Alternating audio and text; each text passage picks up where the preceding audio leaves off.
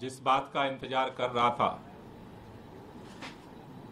लोकसभा चुनाव जो लोकतंत्र का महापर्व होता है, इस लोकसभा चुनाव के दौरान जिस तरह से तीन तीन बार के प्रचंड बहुमत से चुने हुए मुख्यमंत्री को लोकसभा चुनाव में प्रचार से केंद्र की भारतीय जनता पार्टी की मोदी सरकार ने वंचित किया था। आज सर्वोच्च न्यायालय ने इस देश से मोहब्बत करने वाले, संविधान से मोहब्बत करने वाले, लोकतंत्र से मोहब्बत करने वाले के दिलों में एक उम्मीद की किरण जगाई है। हम पूरे दिल्ली के लोगों की तरफ़ से, देश के संविधान प्रेमियों की तरफ़ से पूरी पार्टी की तरफ़ से सर्वोच्च न्यायालय का धन्यवाद करना चाहते हैं कि उन्होंने इस तानाशाही के अंधकार युग में दिल्ली के मुख्यमंत्री अरविंद केजरीवाल को अंतरिम बेल दे करके एक उजाले की रोशनी जलाई है। आज पूरी दिल्ली ही नहीं, पूरा देश खुश है। इस बात से प्रफुल्लित है कि इन विपरीत परिस्थितियों में भी भारत के अंदर हमारे स्वतंत्रता संग्राम सेनानियों के कुर्बानी के दम पर जो संविधान मिला, लोकतंत्र के जो अलग अलग स्तंभ बने, आज भी इस तानाशाही के अंधकार युग में भी अपनी भूमिका को निभाए हैं। इसके लिए तह दिल से बहुत बहुत शुक्रिया। ये सत्य की जीत हुई है।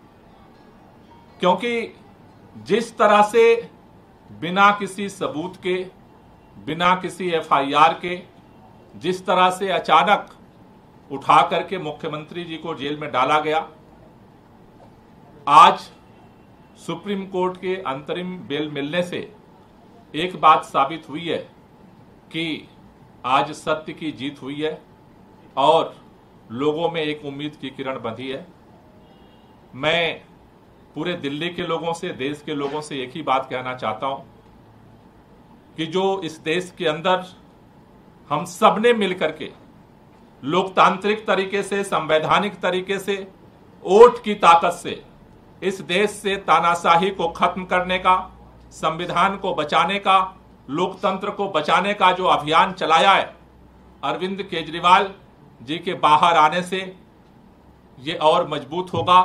पूरा देश मिल करके इस लड़ाई को लड़ेगा और इस देश के अंदर लोकतंत्र को और संविधान को बचा करके इस देश को और मज़बूत करेगा। तो मैं पुनः सभी लोगों को बधाई भी देना चाहता हूँ और खास तौर से सुप्रीम कोर्ट का धन्यवाद करना चाहता हूँ। मैं चाहूँगा कि आतिशी जी। आज जो सुप्रीम कोर्ट का फैसला आया है, इस फैसले से सिर्फ़ अरविंद केजरीवाल जी को अंतरिम जमानत नहीं मिली। इस फैसले से सत्य की विजय हुई। है इस फैसले से लोकतंत्र की विजय हुई। है इस फैसले से देश के संविधान की विजय हुई। हमारे देश के इतिहास में जब जब संविधान खतरे में आया है, जब जब लोकतंत्र खतरे में आया है तो हमारे देश में सुप्रीम कोर्ट सामने आया है। और लोकतंत्र की रक्षा करने में सुप्रीम कोर्ट ने बहुत बड़ी भूमिका निभाई है। आज भी अरविंद केजरीवाल जी को अंतरिम जमानत देकर, अरविंद केजरीवाल जी को चुनाव में प्रचार में आने के लिए जमानत जो सुप्रीम कोर्ट ने दी है, इस फैसले से लोकतंत्र की रक्षा होगी।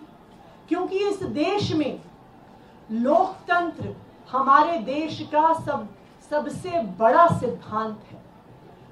लोकतंत्र में चुनाव फ्री एंड फेयर इलेक्शंस हमारे संविधान की नींव है कि हर व्यक्ति को बराबरी का अधिकार है चुनने का। आज इस देश में एक तानाशाही की सरकार है। एक सरकार जो विपक्ष को खत्म करने की कोशिश कर रही है, एक सरकार जो लोकतंत्र को खत्म करने की कोशिश कर रही है और एक सरकार जो आज देश के संविधान लेकिन इस तानाशाही का अंत होगा। और 2024 के ही इस चुनाव में होगा।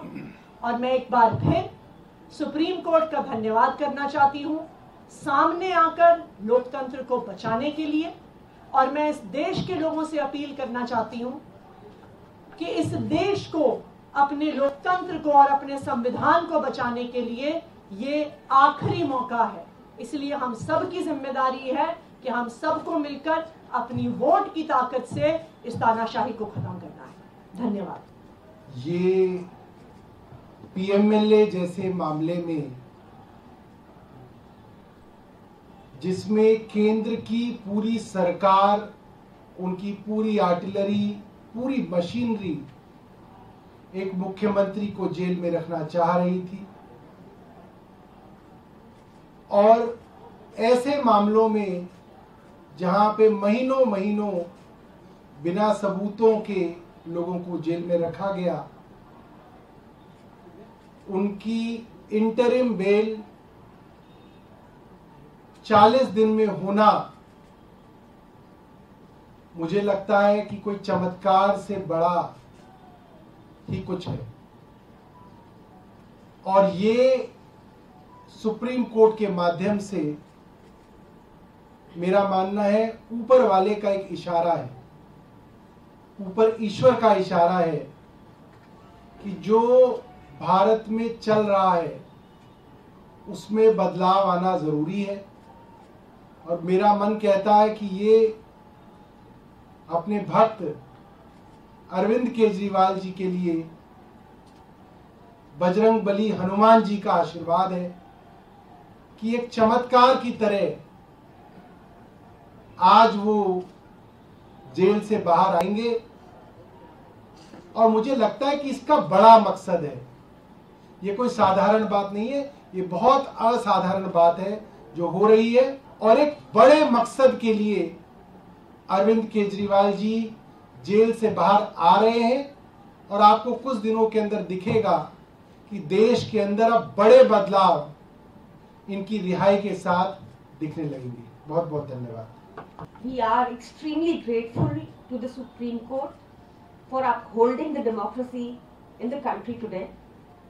ये जैसा सौरभ भाई ने मुझसे पहले बताया, जैसा आतिश जी ने मुझसे पहले बताया, जैसा गोपाल सर ने मुझसे पहले बताया, बहुत ही एक्स्ट्रॉर्डनरी सर्कमस्टांसेस में ये बेल ग्रांट हुई है इंटरिम बेल ग्रांट हुई है पीएमएलए जैसे संगीन प्रोविज़न जहाँ लगे थे, जिसका मकसद ही सिर्फ़ बयानबाजी के आधार पर भाजपाइयों की बयानबाजी के आधार पर अरविंद केजरीवाल जी को जेल में डाल कर रखना था लोकसभा चुनाव से बाहर रखना था। Like Atish ji said before me ये लास्ट मौका है to save democracy and we call upon the citizens, we call upon the media, we call upon all of you to ensure कि हम भी इस बार डेमोक्रेसी को आप हेल्प करें और लगातार देश में इंडिया में डेमोक्रेसी बनी रहे, इसका पूरा प्रयास।